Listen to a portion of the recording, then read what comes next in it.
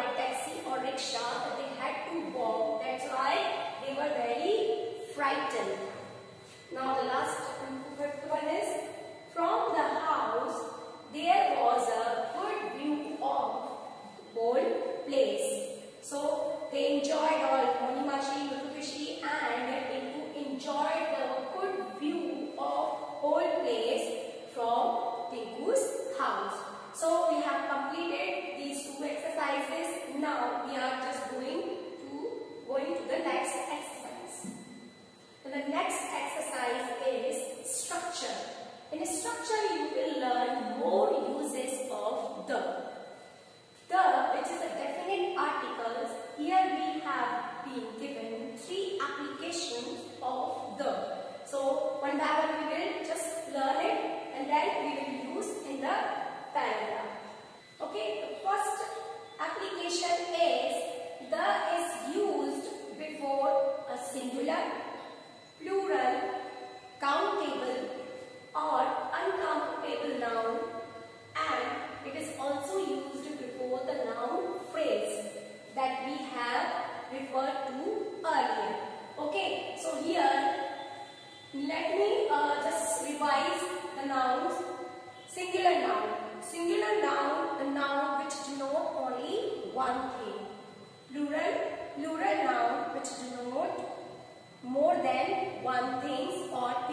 persons or places.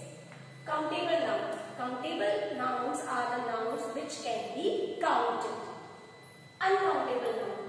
Uncountable nouns are the nouns which we cannot count. And noun phrases. Noun phrases also we have many noun phrases in the chapter like dark hills, snow range, and steep drop, heavy downpour, have learned many noun phrases from the chart. Here, one one example has been, has been given. Here you can see the mountain. This is the singular noun and before the mountain, the is used. Now the second, the hills. Hills is a plural noun. The third, the houses. Here houses is the countable noun. We can count houses. Here the view, the view this is the uncountable noun, we can't count view. Now the last is the dark